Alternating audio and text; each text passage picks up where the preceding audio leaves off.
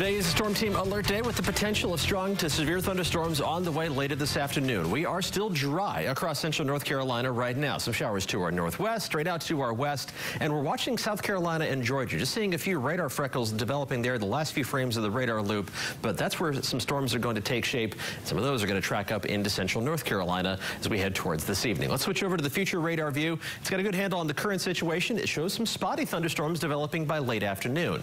This isn't the main event, but any of these storms are going to be developing in a hot, humid, unstable air mass, so any of these individual storms could potentially become severe. Looking at a greater threat of more widespread damaging weather if those storms reach severe limits moving in by this evening. This particular forecast model thinks that the most widespread activity is going to be between 6 and 8 o'clock.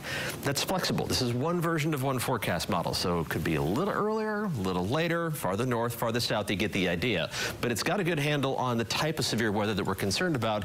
See how this storm line kind of bows out here. That indicates a strong straight line wind threat. We could be looking at what damaging wind gusts over 70 miles an hour with the strongest thunderstorms as they track through this evening.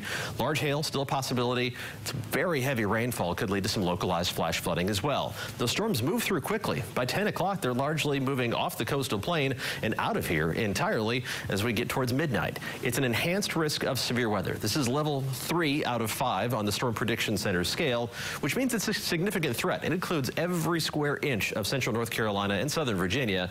Damaging winds the main concern. Localized flooding and large hail next on the list. Isolated tornadoes can't be ruled out. It is not the primary concern this time around, but we will keep an eye on every storm that develops, especially with those more separated thunderstorms that initially pop up because they can interact with each other and sometimes that spins something up unexpectedly. Just stay weather aware as we head towards late afternoon and early evening.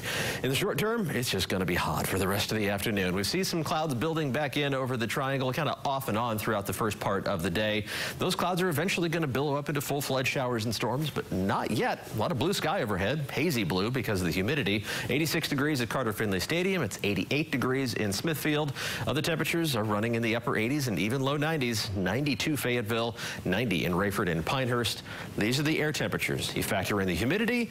Here's what it really feels like. 93 in Raleigh and Durham.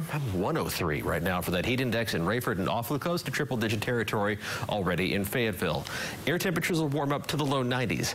That's hot and there's plenty of humidity and that makes the air near the ground very unstable. So just a little something to get those air parcels to rise up is going to allow them to explosively develop into showers and thunderstorms, with some of the showers lingering farther into the evening, but gone by midnight in all likelihood.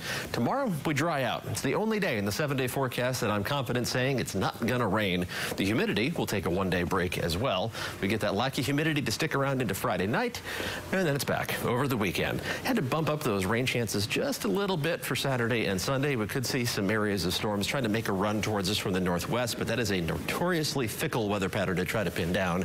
Back into the 90s next week. First full week of summertime, we'll feel every bit of it. Ooh.